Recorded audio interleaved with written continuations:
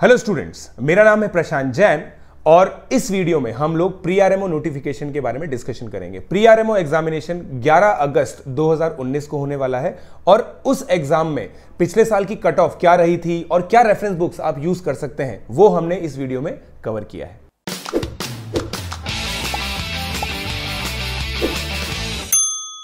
सबसे पहले हम लोग जितनी भी स्टेजेस होती हैं इंटरनेशनल मैथमेटिक्स ओलंपियाड की, उसको जान लेते हैं। प्री आरएमओ फ़र्स्ट स्टेप है आईएमओ के लिए एशियन मैथमेटिक्स ओलंपियाड के लिए और EGMO European girls mathematics olympiad के लिए। सबसे प्रेस्टिजियस जो आईएमओ एग्जामिनेशन है, उसकी छह स्टेजेस जो होती है फ़र्स्ट स्टेज है प्री आरएमओ सेकंड स्टेज है आरएमओ थर्ड स्टेज है आईएनएमओ फोर्थ स्टेज है आईएमओटीसी फिफ्थ स्टेज है प्री डिपार्चर ट्रेनिंग कैंप और सिक्स स्टेज है IMO first stage pre RMO जो सबसे बड़ा एग्जामिनेशन है मैथमेटिक्स ओलंपियाड से रिलेटेड उसके बारे में हम लोग मेनली इस वीडियो में डिस्कशन करेंगे।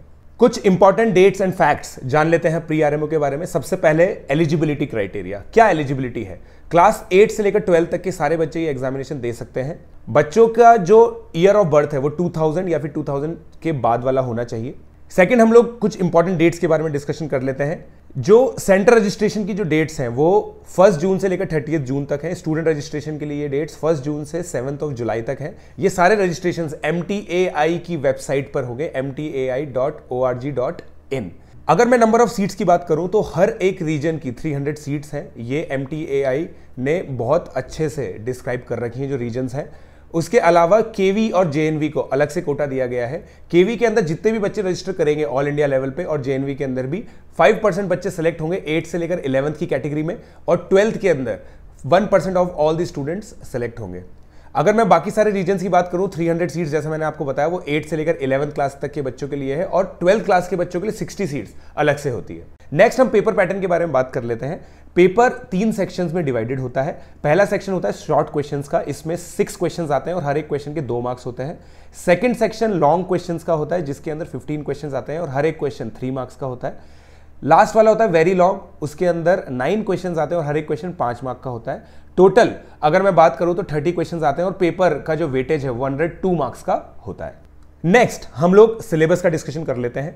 सिलेबस के अंदर नंबर सिस्टम नंबर थ्योरी जिसको बोलते हैं एल्जेब्रा जिसमें quadratic equations polynomials sequence and series combinatorics ये सब आता है। इनइक्वालिटीज ज्योमेट्री और problem solving elementary graph theory coordinate geometry ये सब चीज़ें प्री आर के सिलेबस में प्रिस्क्राइब्ड है। इसके अंदर जो नोट करने वाली बात है वो ये है कि कैलकुलस और स्टैटिस्टिक्स सिलेबस का पार्ट नहीं है।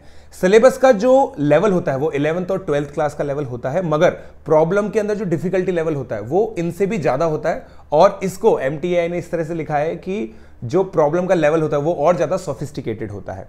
जो प्रॉब्लम का लेवल है, वो प्री आरएमओ से ज़्यादा डिफ़िकल्ट आरएमओ में होता है आरएमओ से ज़्यादा डिफ़िकल्ट इनमो में होता है इनमो से ज़्यादा डिफ़िकल्ट आईएमओ में होता है।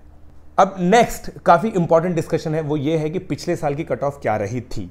ये जो स्टैट्स होते हैं, ये इसलिए इंपॉर्टेंट होते हैं ताकि जो बच्चे इस साल प्रिपेयर कर रहे हैं, उनको ये आइडिया रहे कि उनको क्या स्कोर टारगेट करना है।